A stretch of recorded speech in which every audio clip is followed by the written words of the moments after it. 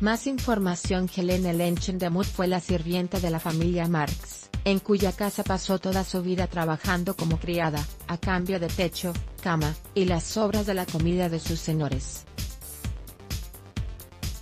Una historia muy triste como otras muchas de aquella época, pero que en el caso de Lenchen fue más hiriente si cabe, al tener que, además de fregar y barrer, satisfacer la lujuria y concupiscencia del señor de la casa, un tal Carlos Marx.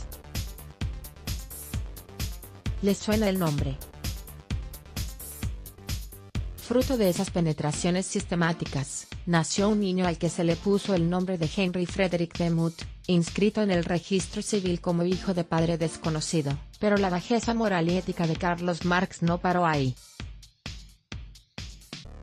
Para que su esposa no sospechara, y Lenchen pudiese dedicarse plenamente a sus tareas y obligaciones domésticas, le obligó a dar al bebé en adopción. Todo un señor don Carlos Marx, hijo progre decimonónico, que primero vivió de sus padres, luego de su mujer y, finalmente, saleando su amigo Engels.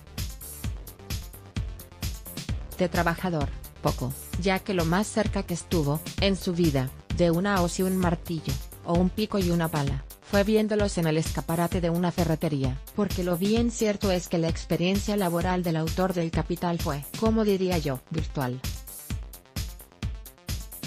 Aunque, pensándolo bien, el trabajo intelectual también es trabajo, creo yo. Pero claro, cuando medimos en millones de muertos, la cuenta de resultados del trabajo intelectual de un personaje, podemos llegar a la conclusión de que, en determinados individuos, la pereza deja de ser vicio, para convertirse en virtud. Para concluir este capítulo de vidas poco ejemplares, veamos lo que escribió sobre este pájaro alguien que lo conoció personalmente, si su corazón fuese tan fuerte como su intelecto yo lo seguiría a través del fuego.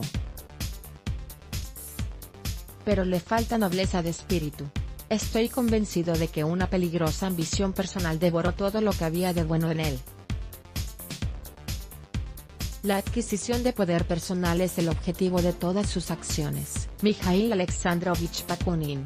Autor Antonio Gil Terrón Puchades Antonio Gil Terrón Puchades, Valencia 1954, poeta, articulista, y ensayista.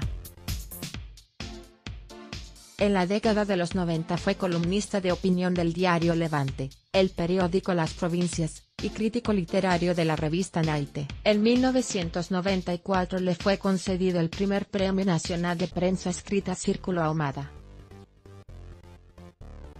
Ha sido presidente durante más de 10 años de la emisora Intervalencia Radio 97.7 FM, y del grupo multimedia de la revista Economía 3. Tiene publicados 8 libros, y ha colaborado en 6.